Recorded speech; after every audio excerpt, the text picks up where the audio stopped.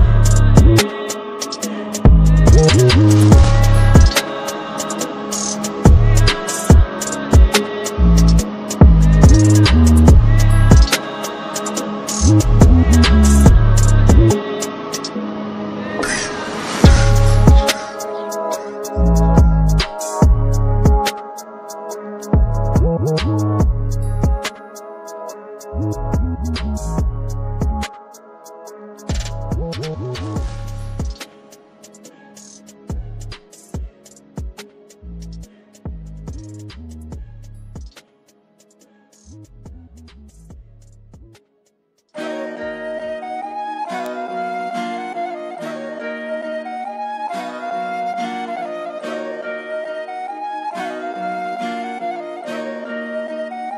like you lost another one.